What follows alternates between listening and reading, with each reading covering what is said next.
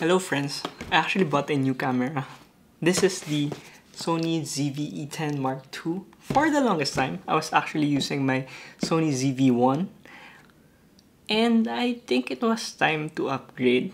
Um, for me, the ZV-1 was kind of limiting with its fixed lens, well actually the zoom lens. But for this camera, this camera is interchangeable lens. For those that don't know, cameras that have interchangeable lenses comes in a body where you can actually change your lenses. You can actually buy different types of lenses. Um, you can buy prime lens, you can buy a zoom lens, and some other lenses that we're not going to talk about in this video. And yeah, that's the Sony ZV-E10 Mark II this new camera is actually um, a successor to the original ZV-E10 and let's unbox it. Let's pretend I actually didn't open it yet. Um, I actually returned it in the box. so, for those who don't know, you get these. So, you have the warranty, I think. In the box comes the camera which is covered in this tissue paper like um, packaging. And carton. Yeah. so there you have it. This is a Sony ZV-E10 Mark II I think it is a worth it upgrade.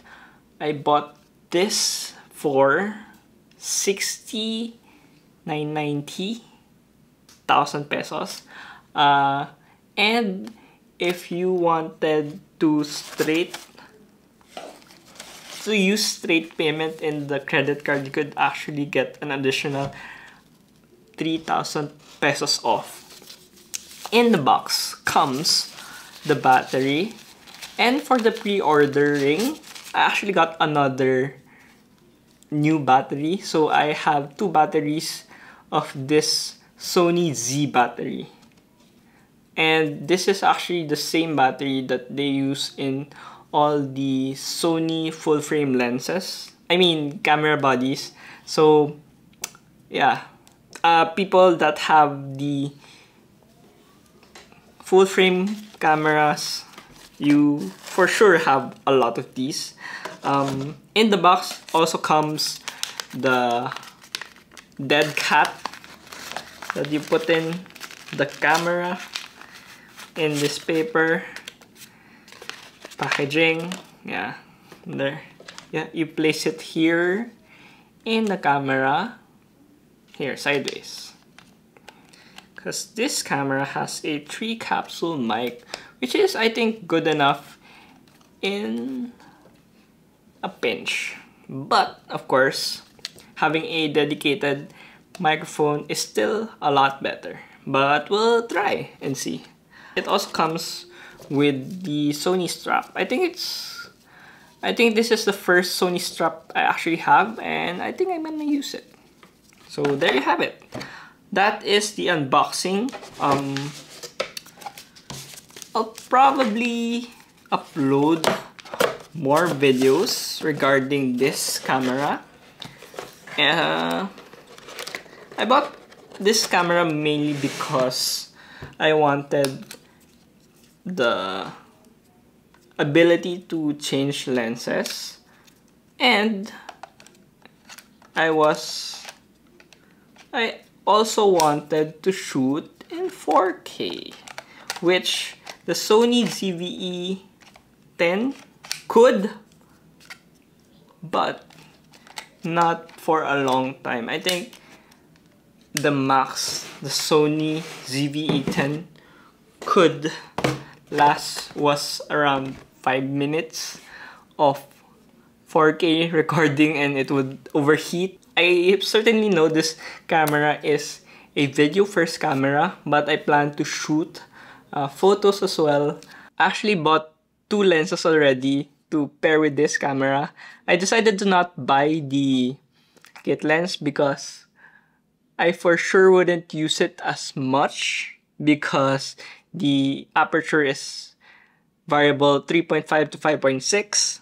I know people said that for $100 more you should get it, but yeah, I for sure wouldn't use it as much. So I bought the Sigma 16 millimeter 1.4 aperture lens and the TT Artisans 27 millimeter 2.8 lens.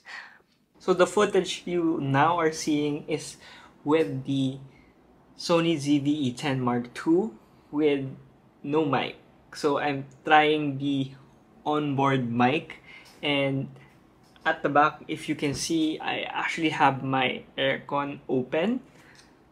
So um, let us see if it can actually it will actually pick up the aircon noise because this three capsule mic is has or has AI um, I can actually select where the mic would capture audio. I can select it from the front from the back and in auto.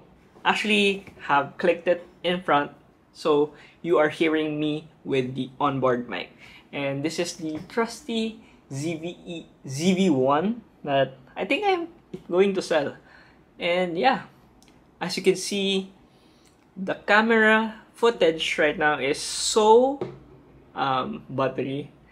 Uh, the background here is very blurred because I have the 16mm 1.4 and right now I am at 1.4 so you can't quite see the background here. So yeah.